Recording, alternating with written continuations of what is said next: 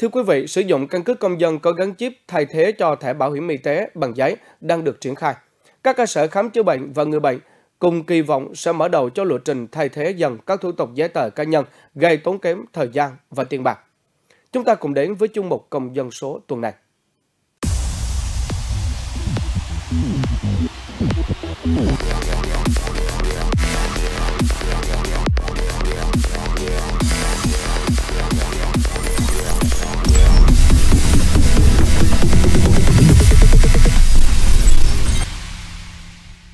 Thưa quý vị, dùng căn cước công dân có gắn chip thay cho thẻ bảo hiểm y tế bằng giấy khi đi khám chữa bệnh sẽ mang lại tiện ích gì cho người dân?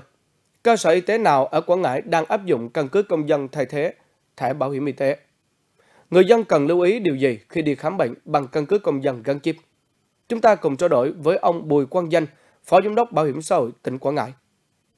Thưa ông thì hiện nay ờ, trên địa bàn tỉnh Ngãi thì người dân có thể sử dụng các căn cước công dân thay cho thẻ bảo hiểm y tế đi khám chữa bệnh được chưa?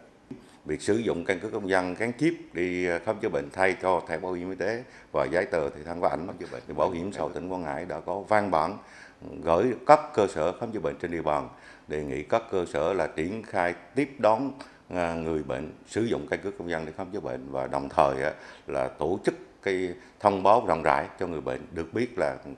hiện nay các cơ sở sẵn sàng tiếp đón người bệnh người bệnh đi khám chữa bệnh bằng căn cước công dân có gắn chip. À, như vậy thì hiện nay trên địa bàn tỉnh Quảng Ngãi thì đã có những cơ sở y tế nào áp dụng cái việc mà dùng các căn cước công dân để mà thay thế thẻ bảo hiểm y tế để cho người dân đi khám chữa bệnh. Đến nay thì trên địa bàn tỉnh Quảng Ngãi đã có 128 cơ sở trên 206 cơ sở khám chữa bệnh đã được trang bị cái cái mã cái đầu độc QR code để mà áp dụng cho người bệnh đi khám chữa bệnh bằng căn cước công dân có gắn chip khi mà sử dụng cái thẻ căn cước công dân để mà thay cho thẻ bảo hiểm y tế đi khám chữa bệnh thì cần lưu ý những vấn đề gì ạ? Khi người uh, dân mà lần đầu tiên đi khám chữa bệnh mà sử dụng cái căn cước công dân có gắn chip đó, thì tốt nhất bà con nên mang theo cả thẻ bảo hiểm y tế và giấy tờ tùy thân có ảnh giống như trước đây. À, tuy nhiên là khi mà mình đã cập nhật được lần đầu tiên thành công á, thì những lần sau á, thì ờ, bà con không cần phải mang theo gì khác ngoài cái căn cước công dân có cái chip Thưa ông thì khi mà người dân dùng cái căn cước công dân để mà thay cho cái thẻ bảo hiểm y tế đi khám chữa bệnh thì sẽ mang lại cái lợi ích gì cho người dân và cũng như là cơ quan quản lý người dân mà khi mà đã tra cứu thành công cái lần đầu tiên thì à, lần sau là chỉ mang cái thẻ căn cước công dân đó, đó là một cái tiện ích rất đỡ cho bà con phải chuẩn bị giấy tờ trước khi đi khám bệnh. Cái thứ hai nữa là bà con giải quyết cái công việc cái thủ tục hành chính tại cơ sở khám chữa bệnh nó rất là nhanh gọn đỡ mất thời gian chờ đợi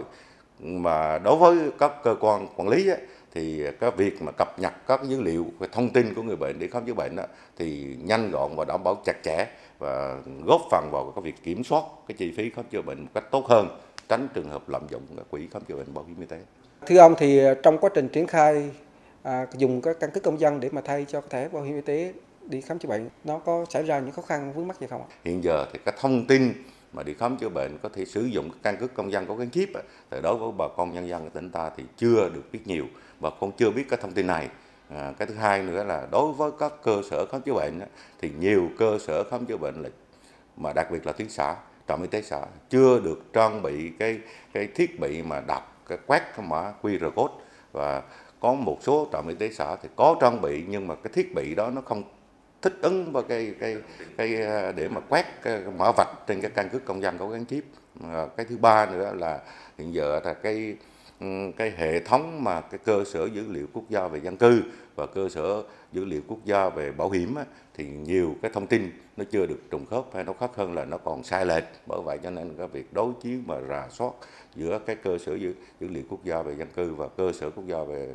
uh, bảo hiểm á, thì vẫn còn đang trong giai đoạn hoàn thiện. Cho nên là cái này cũng là một vấn đề vướng mắt trước những khó khăn vướng mắt như vậy thì mình sẽ có những cái biện pháp gì để mà khắc phục cái tình trạng này thời gian vừa qua thì bảo hiểm xã hội tỉnh cũng đã và đang triển khai thứ nhất là ờ, tuyên truyền rộng rãi ờ, cho bà con nhân dân trên địa bàn tỉnh được biết là hiện giờ cái thẻ căn cước công dân có thể sử dụng để đi khám chữa bệnh, thay cho thẻ bảo hiểm y tế, thay cho giấy tờ tùy thân có ảnh. Cái thứ hai nữa là cũng đã có cái cái bước là phối hợp với các cơ sở khám chữa bệnh. Thì trong đó là cơ sở khám chữa bệnh phải bố trí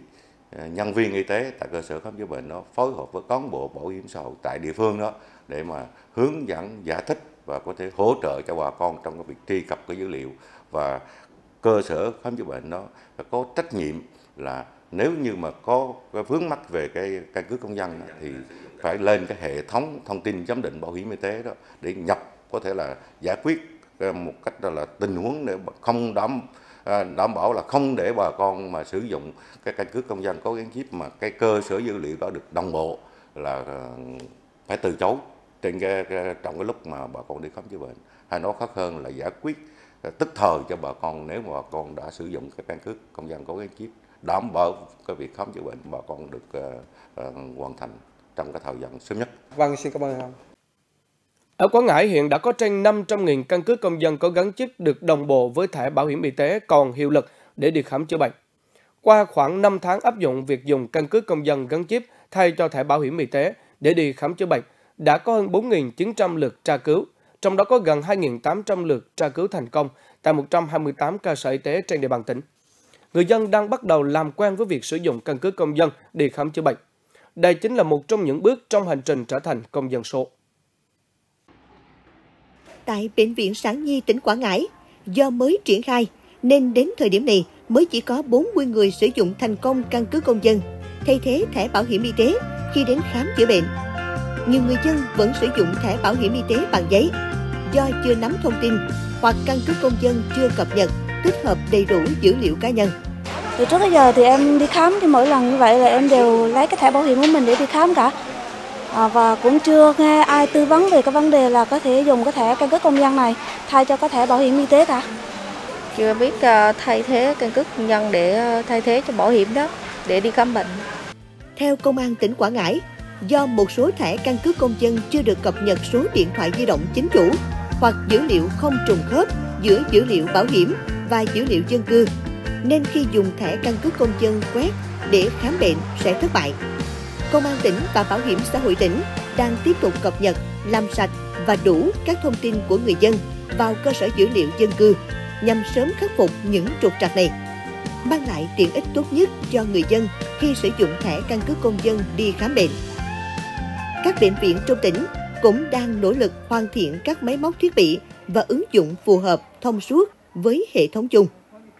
Sắp đến bệnh viện sẽ liên kết với ờ, bảo hiểm xã hội tỉnh với, cho bên ngành công an đấy. khi ứng dụng rồi á,